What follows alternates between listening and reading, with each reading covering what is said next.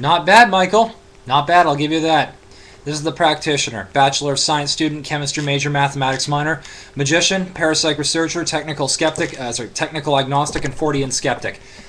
Um, yeah, so like I said, um, that was not bad, sleight of mouth. Um, I happen to know how, um, well, being a magician, I happen to know how that one's done too, so. Yeah, but like I said, um, that was not a bad rendition of it. A couple of points I could think of. Uh, one of which, don't get the camera to go away from you.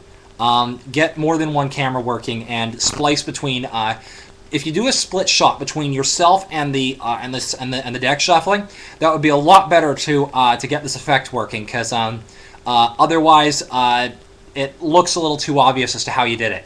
Um, but other than that, um, like I said, uh, for uh, when you're doing it live, I have no doubt that it was probably a really great rendition for when you were doing it live. Just um, over the camera, you need more than one camera to pull that trick off. Um, other than that, though, keep it up. Toodles.